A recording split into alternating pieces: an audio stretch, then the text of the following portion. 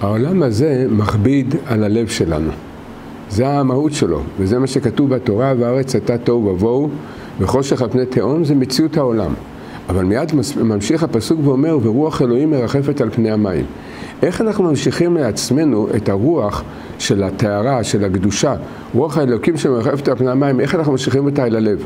ובאמת, כל ספרי הקבלה והחסידות והמוסר מלמדים אותנו הרבה מאוד עצות.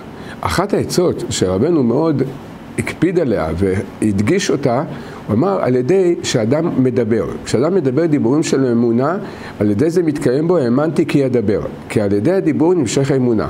ואומר רבנו, שתי בחינות בתיקון הדיבור, שהוא תיקון נפלא מאוד, זה לנסות להרבות באמירת התהילים, ובפרט בתיקון הכללי. ובדור שלנו מי שיכול להגיד שלוש, ארבע, עד שבע פעמים תיקון הכללי ביום, זה ברכה וסייעתא דשמיא מאוד גדולה. ודבר שני אומר רבנו, על ידי גרסת הזוהר.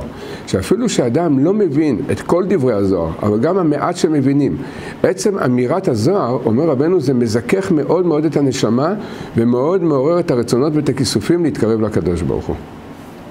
להקדשת השיעורים של הרב להצלחה, לזיווג, שלום בית, רפואה, לעילוי נשמת. התרומה עבור עזרה להפצת התורה.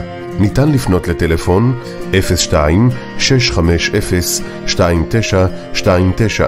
תודה רבה ותזכו למצוות.